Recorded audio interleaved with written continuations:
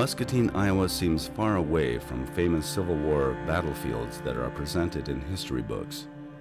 For Americans who were alive in the 1860s, the Civil War touched their lives whether they lived in the North, the South, the Midwest, and other areas of the country. Young men, fathers, husbands, and sons went off to battle, while women, children, and men beyond their prime were left to farm, run businesses, manage the daily needs of their families, assist their neighbors, and support the troops by sending supplies.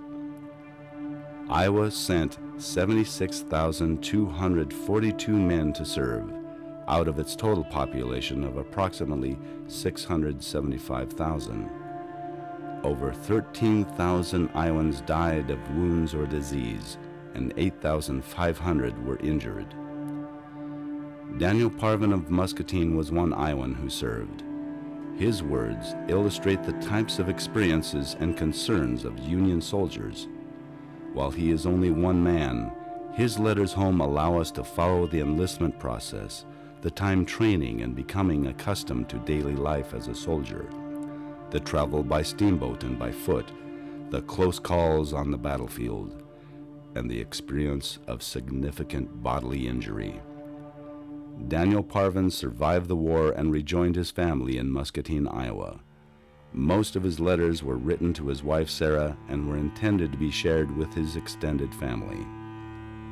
Daniel Parvin was born August 12, 1826 in Ohio. He was one of eight children. His family moved to the area that became Muscatine in 1839. Daniel was a cabinet maker who lived in this area for most of his adult life, aside from living briefly in California. In April 1860, just over a year before he enlisted in the Civil War, Daniel married Sarah. They had three children, all boys, the oldest born before the war, one born during the war, and the third after the war. In September 1861, Daniel Parvin enlisted as a private in the Union Army at the age of 35. He was much older than his fellow recruits. Daniel served in the 11th Iowa Regiment, Company H, for his entire Civil War service. There were 10 companies in the 11th Iowa Regiment, amounting to 922 soldiers at the time. Daniel was first sent to Camp McClellan in Davenport, where he met his regiment and was issued clothing and supplies. He then boarded a steamship to travel down the Mississippi River to a training facility outside St. Louis. For about three weeks, he drilled with his regiment. Then he was sent by train to Jefferson City, Missouri, and later California, Missouri. Daniel and his regiment boarded another steamboat to travel to Tennessee, where they engaged in the Battle of Shiloh. He was in the thick of the action and served under Ulysses S. Grant. A few of his letters detail his experiences on the battle at Shiloh, as well as action at the siege of Vicksburg and skirmishes in Mississippi and Tennessee. Daniel Parvin reenlisted as a veteran on January 1, 1864, and continued to move with the 11th Iowa Regiment. He suffered gruesome war wounds during the Atlanta Campaign in August 1864 while serving under William Sherman. As we follow Daniel Parvin on his journey as a Civil War soldier, keep in mind that the actors are reading his actual words, taken from his 117 letters home during the Civil War. These letters are preserved in the collection of the Muscatine Art Center. This video project is funded in part by the State Historical Society of Iowa's Historic Resource Development Program.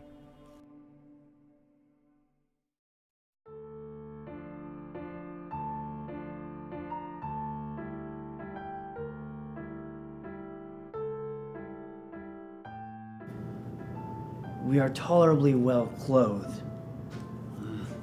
But our clothes are not as good as I expected they would be. And yesterday we got one blanket to every two men, and they are poor things, but the boys grumble enough about them without my saying anything about them. But there is one thing sure, and that is the government was imposed upon when they bought our clothing, and there is none of it first rate. Our grub has been rather short for four or five days, and I feel rather wolfy this morning. Well, I have had my breakfast, and such it was. But if I had something of your cooking, I could eat a hearty meal yet. We had for breakfast a half a pint of beans and a slice of bread about as big as my hand. And that was all, except the dirt that was on my bread and mixed through my beans. And I tell you what, there was plenty of that. Sarah, you say that you would like to have my likeness taken with my uniform on. I am sorry that I cannot get it for you. When a man is a soldier, he cannot do as he pleases. And my clothes are all soiled, my hat is all bruised, and would not be fit to have a likeness taken in if I had a chance. And I have no chance.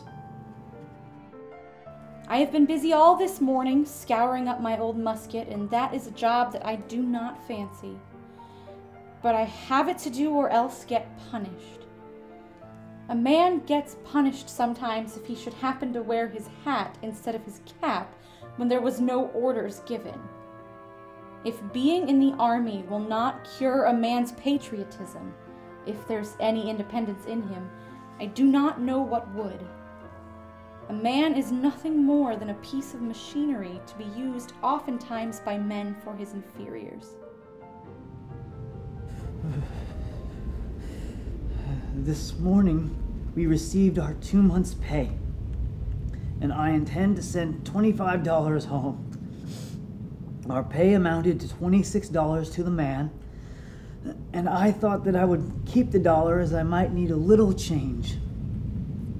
And we all have to pay the head cook 20 cents per month for cooking and overseeing the kitchen department. I have paid him for two months out of the dollar, and I have had to pay 10 cents to have my hair cut. I am tolerable saving, but yet it takes considerable to keep even me. Dear wife and relatives, I take this opportunity to address myself to you. We are here yet, and I do not see any more prospect of our moving that there was when I wrote last. Since I wrote, I have received five letters from home. It makes me feel proud to think that I am thought of at home. Sarah, you want me to give my opinions about the length of this war. Now, I don't want you to consider my opinion in this of much account, but I fear that this war will last for the next 10 years yet. I could give you my reasons for believing as I do, for you know that I always have a reason for my belief but I am in hopes that I am mistaken in this. I hope that we will discharge in the spring.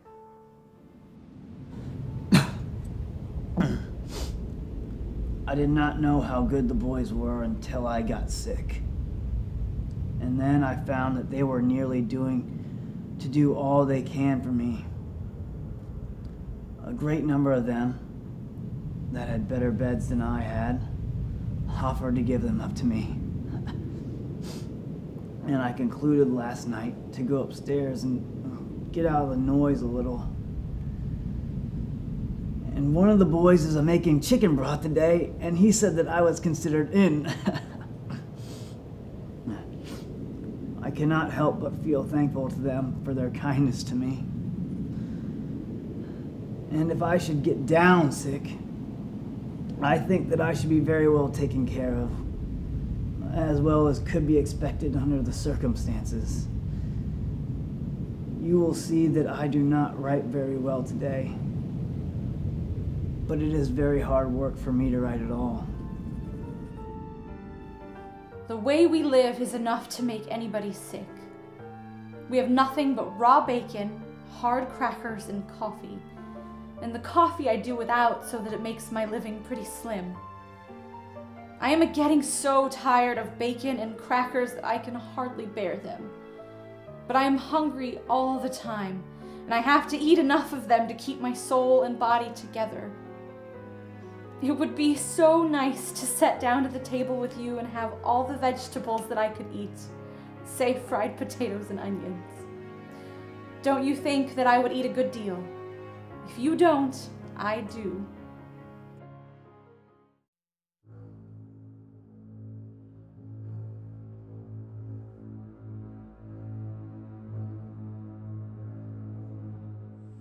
Dear wife, I sit down only for a moment to do as you have requested me to do, and that is to write to you if we get into a battle.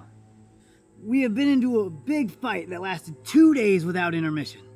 The first day they drove us back about three miles, and then we, being reinforced about four o'clock, we commenced to drive them and drove them about half a mile that night. Uh, It got dark, so that firing was stopped pretty much for the night.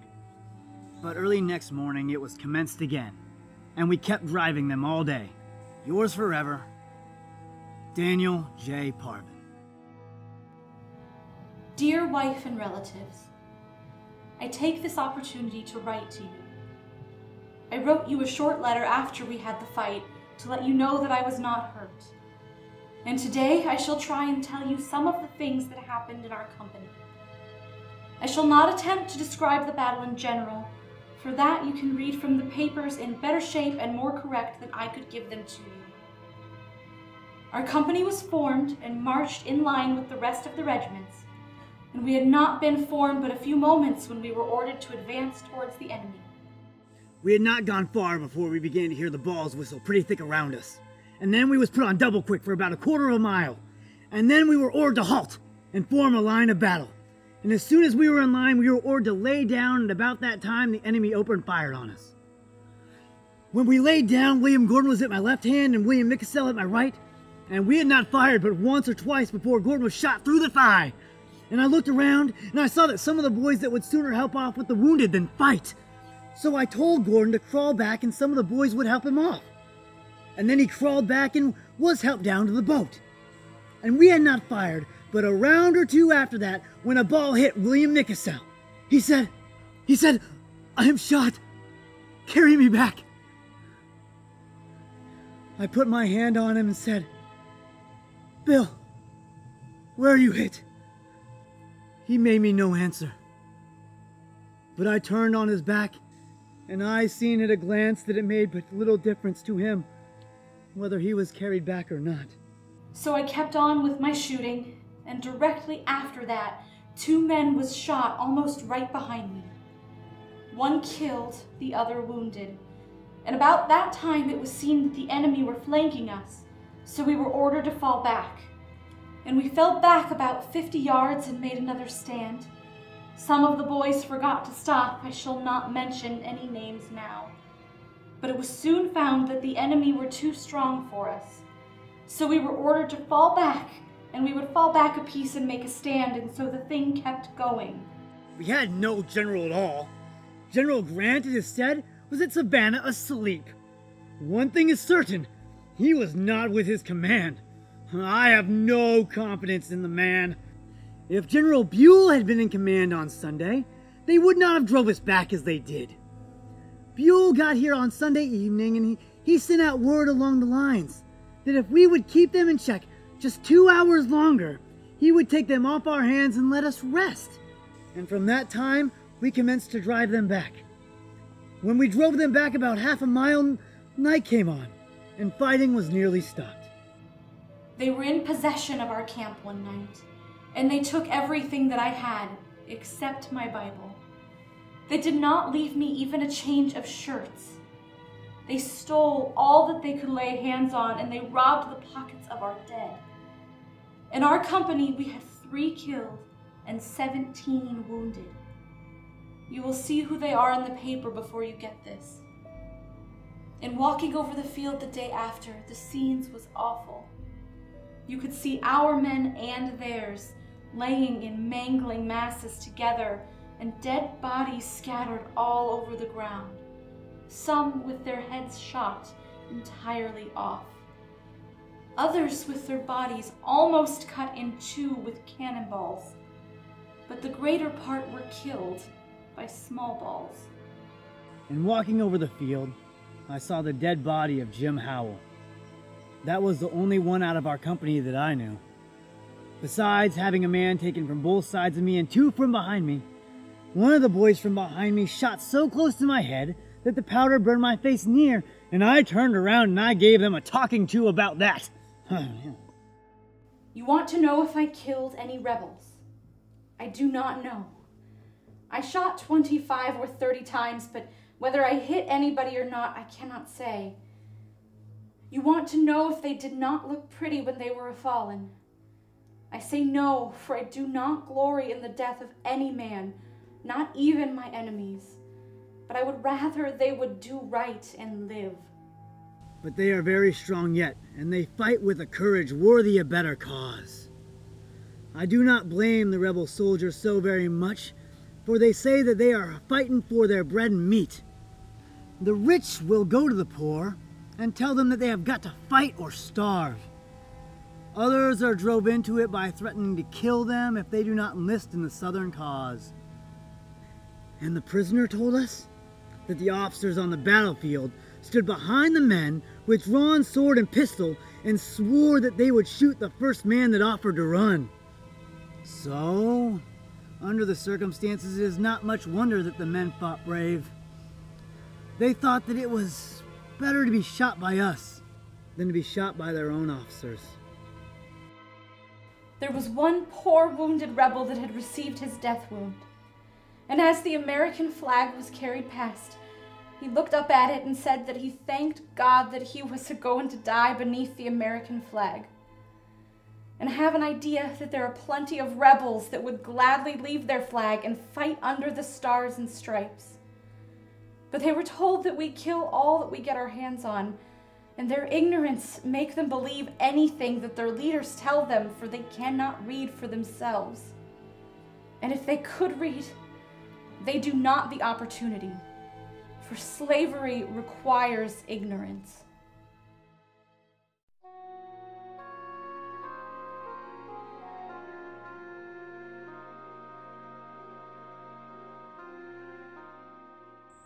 I am well now and getting fat. I weigh 149 pounds, and that is as much as I ever weigh in the summertime. And I think that I shall be able to stand this climate first rate. There is but little sickness now in the 11th Regiment, and only one in our company, and that is Taylor. And I think that he will die if he cannot get to come home pretty soon. But it seems almost impossible for a private to get a furlough. There is a great injustice done to soldiers in this respect, as well as a great many other respects. Their lives are not counted of much value, and their feelings are not counted at all by a great many of the officers. Today is the Sabbath, but it is not a day of rest to me, for today I've got to wash my clothes and go to the regiment, and there is various other little jobs that I have got to do and the boss is after me now to go to polishing. And as I am a soldier, I shall have to obey orders. And by the time that is done, it will be time that I was at work at my other jobs. You sent me a lock of Fred's hair and want to know my opinion about the color. Well, my opinion is that it might be very much the color of my whiskers, but maybe not. It is hard to tell anything about it until he gets older. Since I last wrote, this part of the army has done but very little but lay around camp and eat our grub. We have not even a good chance to keep ourselves clean, for we have to haul our water about five miles, and we are allowed only so much each day, and that is only enough to cook and drink. and they do not allow us to go outside our lines unless we have a pass and it is a good deal of trouble to get one of them. So that it is very inconvenient for us to go out to wash our clothes or anything else. But, as we are soldiers, we have got to stand it. And we try to be as cheerful as we can. But I frequently see some pretty long faces. Sarah, I often look at your likeness, and it gives me pleasure to look on the features of the one that I love most. As I expected yesterday, I was on guard, and a disagreeable time we had of it. For it rained nearly all night, and it was darker than a stack of black cats, and I got but very little sleep. And in consequence of the weather and the loss of sleep, I do not feel in very good spirits. Since I last wrote, I was quite sick for two days with the sick headache, but I am middling well now. Sarah, you ask me if I think the war will last three years. That I don't know. But if it does, I want you to be ready to leave the country with me as soon as my time is up. For I think that that will be the best thing that I can do. And I should like to know whether you are willing to go with me or not. I think that someplace in Brazil will suit me. Sarah, you seem to want to see me very bad, but I do not think that you want to see me any worse than I want to see you. I want to see you so bad that I am almost homesick and have got the blues. But all this does no good, and I shall have to content myself the best I can, for it does no good to complain.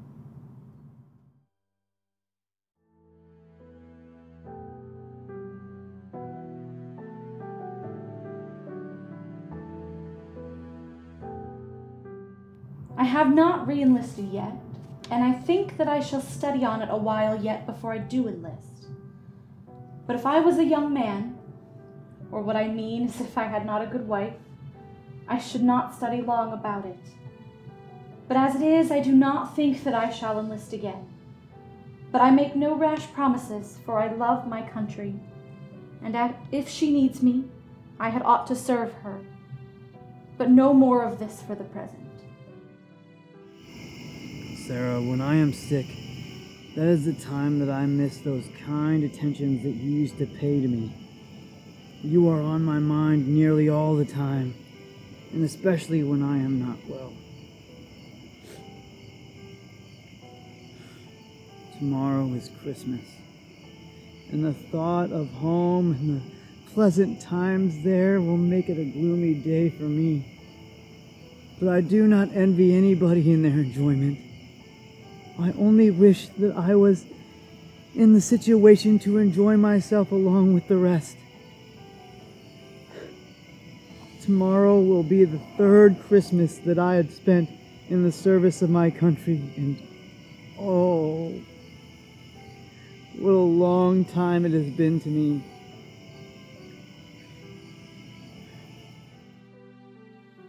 I believe that I am doing right in trying to put down this dreadful rebellion. If it was not for this belief, I can assure you that I would not be soldiering now, for it is anything but a pleasant business to me.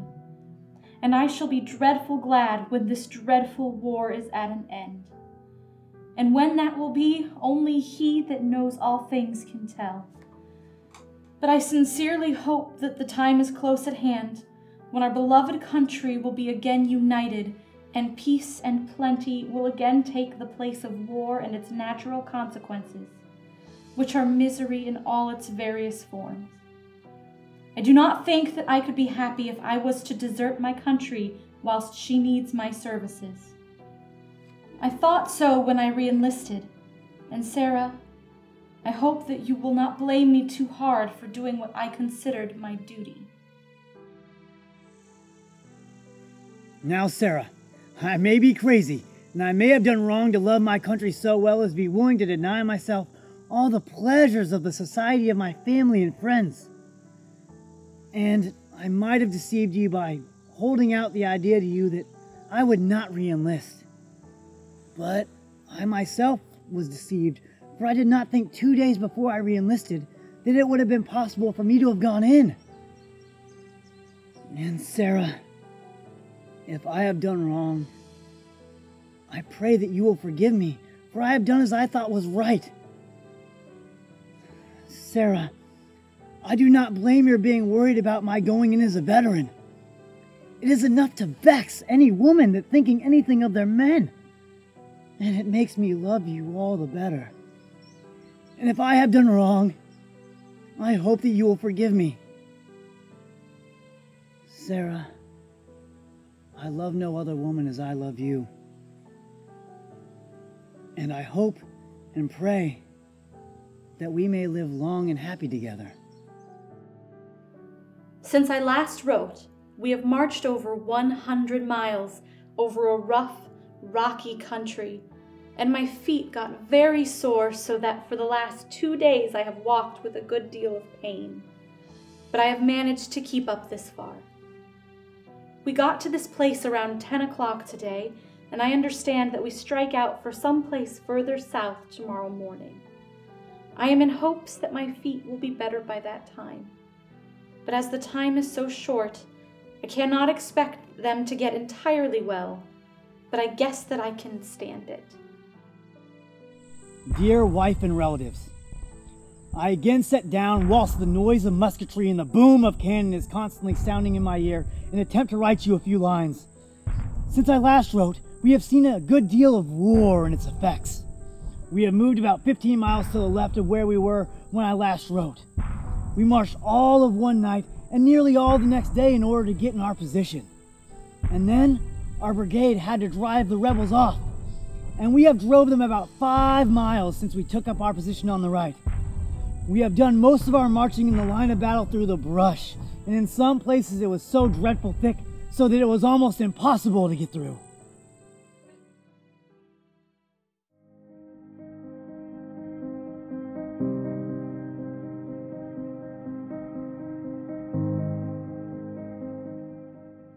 Dear wife and relatives, as this is my birthday, I thought that I would spend a part of it in writing to you. It has not been quite a week since I wrote to you, but most likely our company will be on picket tomorrow, so that I should not have a chance to write for two days. For the pickets have all that they can attend to, to watch the enemy, for our lines are getting pretty close together, and they keep up nearly a constant firing on both sides.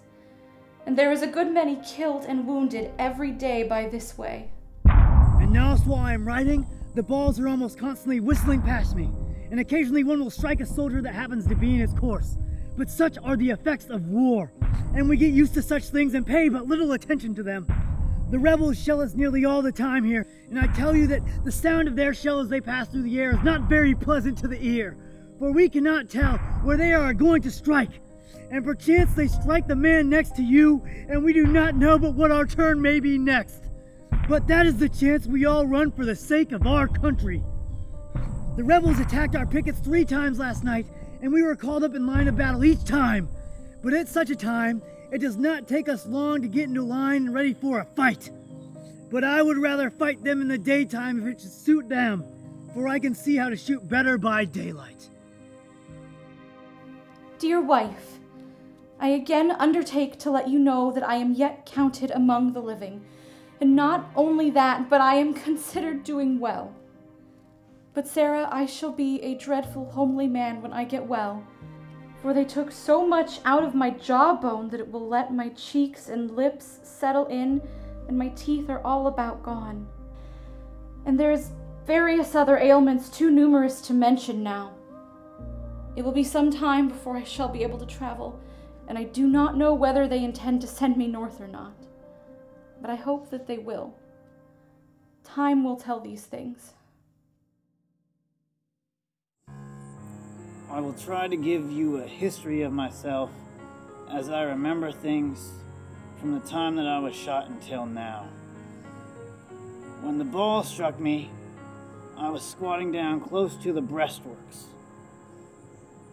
When the ball first struck me, I thought that my head was gone and then the boys commenced to collect around me. And then I got over on my knees and put my hand up to my face. And I could hear the boys talking, and I could think. And I know by that that I was not shot through the brain, and they asked me if I could walk. I told them yes. And they took a hold of me and led me back about 200 yards, and there we met the boys coming with the stretcher. And I got into that, and they carried me to the division hospital. And there was three or four doctors there, but most of them shook their heads when they saw me and did not seem inclined to do anything for me. But finally, as they had nothing else to do, they thought that they would see if there could be anything done for me. So they got me on their chopping block and gave me chloroform. But it had little effect on me, for I knew all that was going on all the time. And they took out several loose pieces of bone and one good big piece of my jawbone, it having four teeth on it. After that, they let me go back to my bunk. I believe that they thought that I would bleed to death, and I guess that I did come pretty near it. Well, I laid there and bled all night. And the next day they sent me here. And they fed me with a stomach tube for two or three days, but I found out that I was a going to starve if I did not find out some other way besides that. So I concluded that I would try some other plan and I found that by holding my nose that I could drink a little, and that is the way that I have to do yet. And I cannot eat anything, only what I can drink, but I can drink almost anything now. But the most of my living is gruel, but I can drink that quite thick now. My appetite is good. They have taken my name for a furlough, but how soon it will come I cannot tell but I hope as soon as I am able to travel. As I have filled my sheet full, I close, ever remaining yours. I have suffered a good deal for my country, and if necessary, I am willing and ready to die for my country if necessary. But I am in hopes that sacrifice will not be required. But there are many that are better than I am that will yet suffer death before this terrible rebellion is put down. In February 1865, Daniel Parvin was discharged as a corporal and returned to Muscatine and his wife Sarah. Sadly, Sarah died in 1866 at the age of 25. Daniel married again in 1868, but the new couple had no children. The injuries he sustained in September of 1864 are believed to be connected to his development of cancer of the mouth. Daniel Parvin died of cancer at the age of 53 on February 24, 1880, and is buried in Greenwood Cemetery in Muscatine.